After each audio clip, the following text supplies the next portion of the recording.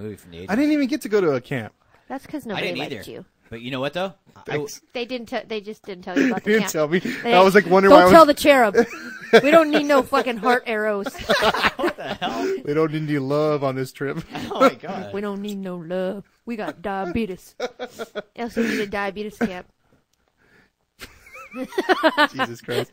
They uh, diabetes camp. it's a camp for diabetes. There's like no sugar.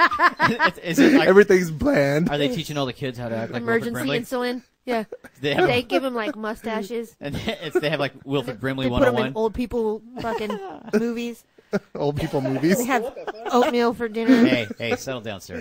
Settle up. Settle up.